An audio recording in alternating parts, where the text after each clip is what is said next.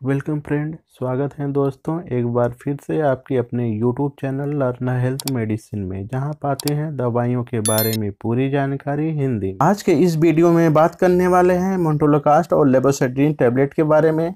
आज हम जानेंगे कि यह टैबलेट कौन सी कैटेगरी की दवा है, इसके कौन कौन से पॉपुलर ब्रांड नेम मार्केट में आते हैं, इस दवा का प्रयोग कहाँ कहाँ किया जाता है, इसके क्या क्या साइड इफ़ेक्ट हैं, इसे कब और कितनी मात्रा में लिया जाना चाहिए और इसको लेते समय क्या क्या सावधानियाँ रखनी चाहिए। इसलिए वीडियो को अंत तक देखें, जिससे आपके सारे कॉन्सेप्ट क्लियर हो सकें। अगर आप चैनल पर पहली बार आए हैं तो चैनल को सब्सक्राइब कर बेल आइकन को अवश्य दबाएँ, जिससे नई नई जानकारी आपको हमेशा मिलती रहे। तो चलिए, यहाँ से आज कुछ नया सीखते हैं।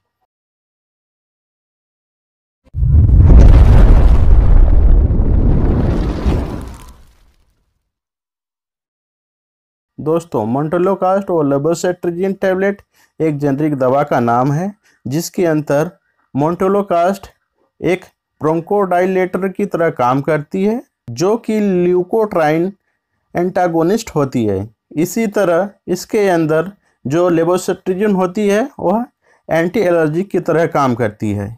यह एक प्रकार की एच वन एंटी हिस्टामिनिक है मोन्टोलोकास्ट लेबोसेट्रिजिन टैबलेट में 10 मिलीग्राम मोन्टोलोकास्ट और 5 मिलीग्राम लेबोसेट्रिजिन रहता है। यह दवा सामान्यतः एलर्जी को समाप्त करने के लिए काम में ली जाती है। अगर हम इसके पॉपुलर ब्रांड नेम की बात करें तो वह हैं सन फार्मा की मोन्टेक एलसी हेटेरोड्रग की लिबोसेट एम, सिप्ला की मोन्टेयर एलसी, मैनकाइंड फार्मा की मोन्टीकोप और जाइडस कैडिला की, ओडीमोंट एलसी। आदि नामों से मार्केट में अवेलेबल है। यह दवा आपके एरिया और डॉक्टर के अनुसार अलग अलग ब्रांड नेम से मिलेगी। आप इस जेनिक फॉर्म को भी काम में ले सकते हैं। दोस्तों, अब हम बात कर लेते हैं इसके प्रमुख उपयोग के बारे में।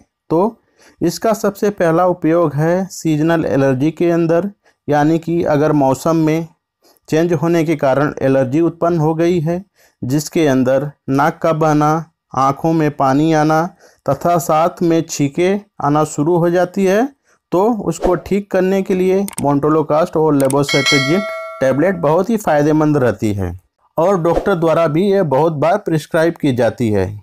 इसका दूसरा उपयोग ब्रोंकियल अस्थमा में प्रोफाइलेटिंग एजेंट के रूप में, यानी कि किसी मरीज़ को अगर अस्थमा है और उसे कोई दूसरी दवाई दी जा रही है तो उस समय मोन्टोलोकास्ट और लिबोसिट्रिजिन को भी साथ में दिया जा सकता है, जिससे मरीज़ को काफ़ी रिलीफ मिलता है।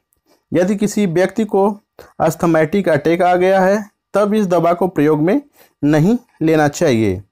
इसका अगला उपयोग है आर्टिक एरिया में, जिसे हम सामान्यतः खुजली भी कहते हैं। अगर इसकी प्रॉब्लम हो गई है, चाहे वह किसी स्किन डिज़ीज़ के कारण हो या किसी कीट पतंग के काटने के कारण हो जिससे कि पूरे शरीर में खुजली चल रही हो तो उस समय में डॉक्टर द्वारा इस दवा को प्रिस्क्राइब किया जाता है। इसका अगला उपयोग है कॉमन कोल्ड में। कॉमन कोल्ड के दौरान, यानी कि सर्दी के मौसम में, जुकाम लग जाता है, नाक बंद रहती है, गला खराब रहता है, या फिर नाक बहता है, गले के अंदर इन्फेक्शन हो, या फिर स्वेलिंग हो जाती है। उसको ठीक करने के लिए भी इस दवा का प्रयोग डॉक्टर द्वारा किया जाता है। इस दवा का अगला उपयोग है एस्प्रिन एंड्यूज अस्थमा या फिर एक्सरसाइज एंड्यूज अस्थमा में भी किया जाता है। यानी कि अगर एस्प्रिन दवा को लेते समय किसी मरीज़ का सांस फूलता है या फिर एक्सरसाइज करते समय अगर किसी व्यक्ति का सांस ज़्यादा फूलने लग जाता है, तब भी इस दवा को डॉक्टर द्वारा लिखा जाता है। अब हम बात कर लेते हैं इस दवा के साइड इफ़ेक्ट बारे में। तो सामान्यतः इस दवा का साइड इफ़ेक्ट नहीं देखा गया है। फिर भी किसी किसी मरीज़ के अंदर सिर दर्द स्किन के ऊपर रेसेस मुँह का सूखना, थकान का होना, दस्त, उल्टी, नींद का आना और टाइटिस मीडिया जिसे हम कान का इन्फेक्शन कहते हैं, इसके अलावा कोई भी अनवांटेड इफ़ेक्ट आपको लगे तो इस दवा का से बंद कर दे और अपने डॉक्टर से मिले। अब हम बात कर लेते हैं इस दवा के डोज के बारे में। इस दवा को दिन में एक बार, यानी कि रात में सोते समय दिया जाता है, जिससे इसका रिज़ल्ट काफ़ी अच्छा रहता है। साथ ही इस दवा को लेने से हल्का सडेशन रहता है, यानी कि मरीज़ को नींद आती है। तो इस वजह से इसको रात में लेने के लिए कहा जाता है। यदि किसी मरीज़ को ज़्यादा परेशानी हो या ज़्यादा एलर्जी हो तो डॉक्टर द्वारा इसे दिन में दो बार प्रिस्क्राइब किया जाता है। इस दवा को खाने के पहले या खाने के बाद दोनों समय लिया जा सकता है। दोस्तों, अब बात कर लेते हैं इस दवा को लेते समय क्या क्या सावधानियाँ रखनी चाहिए।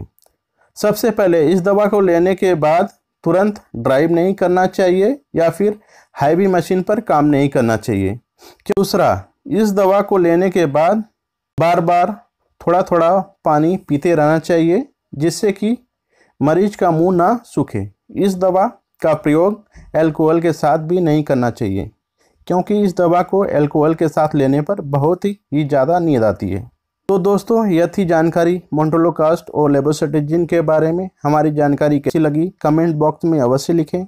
वीडियो को लाइक करें, शेयर करें व चैनल को सब्सक्राइब कर बेल आइकन को अवश्य दबाएँ, जिससे आने वाली सभी वीडियो सही समय पर मिलती रहे। Thanks for watching this video. Have a good day. See you soon.